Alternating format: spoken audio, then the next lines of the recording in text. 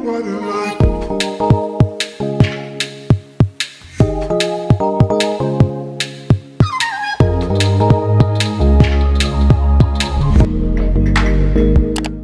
guys, welcome back to Celeste's Corner. So today I'm doing my week 30 to 32 update.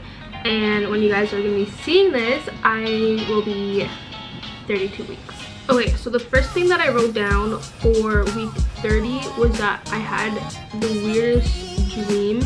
And so, okay, so I had a bad dream and it started from around like 8 a.m. in the morning. So I'm just gonna like assume because obviously I don't know what time my dream started because I was sleeping.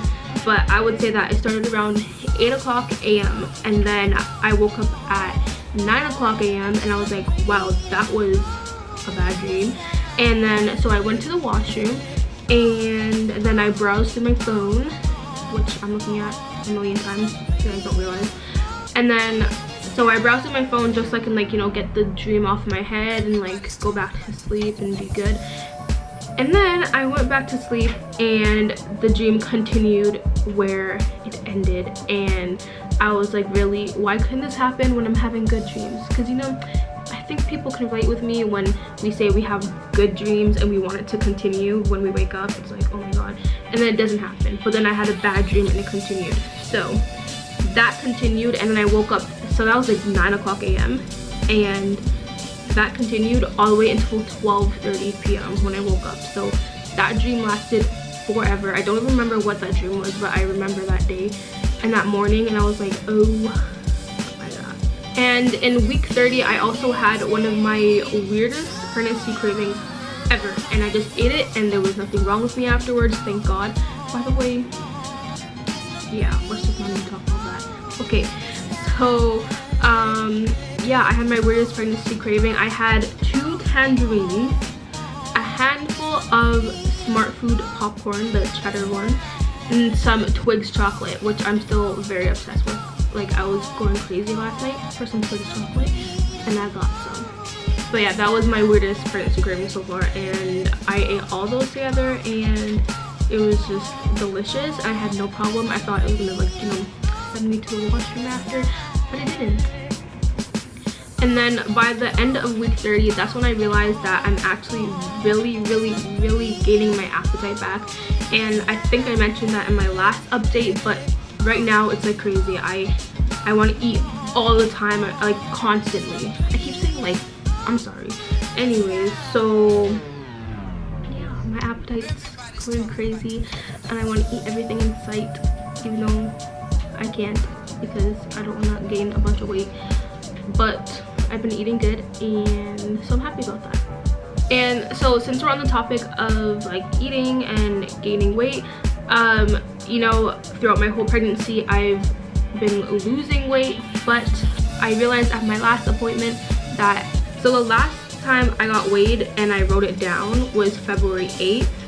And then the next time after that was March 8th. So in that whole month, usually before this, I would have lost probably like at least five pounds but my weight stayed completely the same for that month so I think that's a really good thing and tomorrow I have an appointment so we'll see if my weight is going up, down, staying the same but that will be in my next update. Now for week 31, oh my gosh, my my pain in my stomach and the, just the baby kicking me and oh my god baby lugs the left side the left top like right here like literally the baby sitting here right now and it hurts and i just try to ignore it because what can i do? Anyways so that has caused me to not be able to do a lot of things which means even being able to like reach my ankles to like shave my legs or to even lotion my legs i can't do it.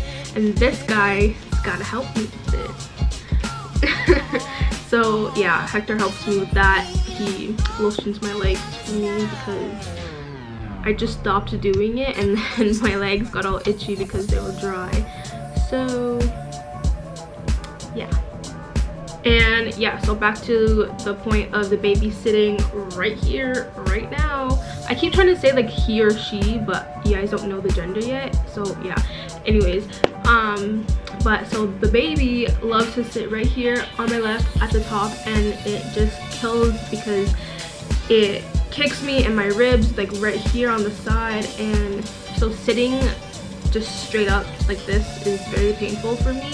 Like when Hector and I play games together I have to be on those pillows in the back and I have to be leaning back um, stuff like that. So just sitting like this is so uncomfortable for me right now and the baby's movements are very like rapid and I feel them all the time. I will put a clip here where you can see the baby's kicks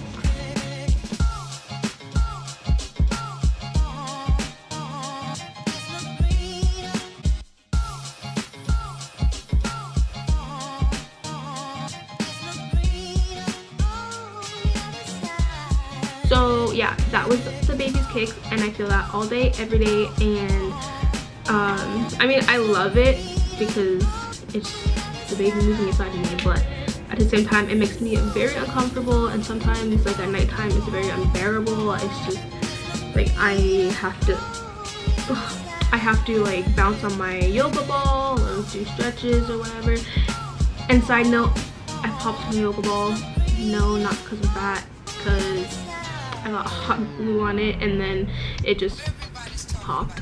Don't ask me how I got hot glue on it. That's another story. But yeah, so I popped that and now I have no yoga ball. And so I'm just going through this pain alone. And something that I also talked about in my last update, I think, was my hip pain, especially during the night because you only have two sleeping positions, your left and your right. Your left and your right, your right and your left yeah so that's still a thing last night was the best night for that to be honest i didn't hurt too much last night but it still hurt and i just told hector yesterday i was like i can't wait until i can sleep on my back and i can sleep on my stomach because i'm a back and stomach person so to be sleeping on my hips and like my arms go numb. My whole legs go numb because i'm just sleeping so heavily on one part of my body. But yeah so that is it for today's video. I'm not sure how long this video is. I think it's pretty short so make sure you guys give this video a thumbs up if you enjoyed and come back next week for my next video and the week after that for my next update video. And i will be 34 weeks by then. That is crazy.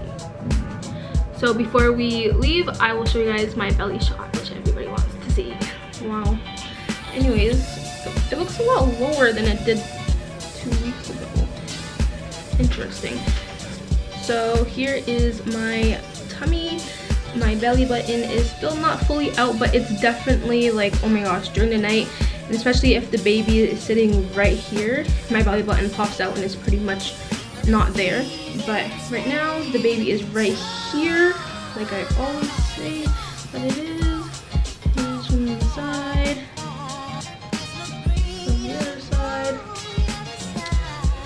but yeah that is my tummy at 32 weeks tomorrow so yeah pretty much 32 weeks so once again thank you guys so much for watching. I'll see you guys next time on Celeste's corner